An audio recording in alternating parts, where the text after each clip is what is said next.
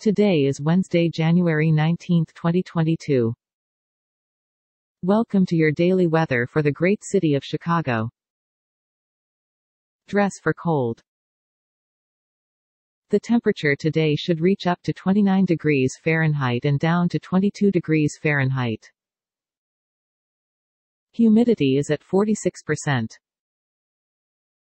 You can expect no rain today. You can expect no snow today. Some clouds.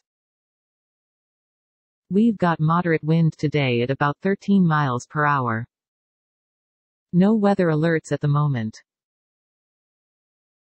And that's the whole weather report. Have a nice day. This content contains information from OpenWeather TM API, which is made available here under the Open Database License ODBL.